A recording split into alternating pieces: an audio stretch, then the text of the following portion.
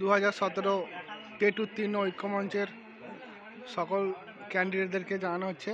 হুগলি জেলার three nine two নাইনের petition গ্রহণ করা হচ্ছে। এটা চুচুড়া স্টেশন আছে। চুচুড়া স্টেশনে এদিকে এক দফায় পিটিশনার গ্রহণ হচ্ছে এবং দ্বিতীয় দফায় গ্রহণ হচ্ছে তারকেশ্বর স্টেশনের আশেপাশেই।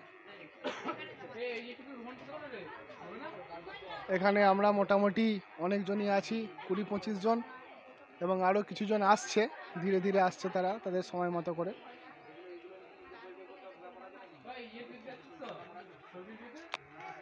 সক্রিয়ভাবে অ্যাডমিনরা তাদের কাজ করছে।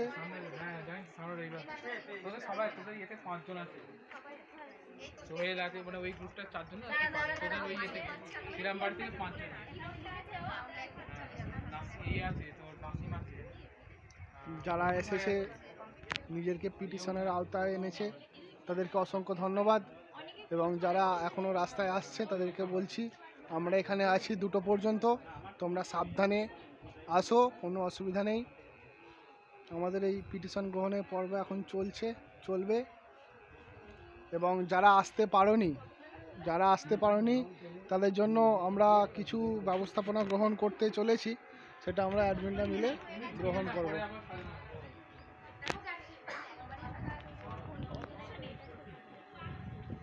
সকলকে ধন্যবাদ।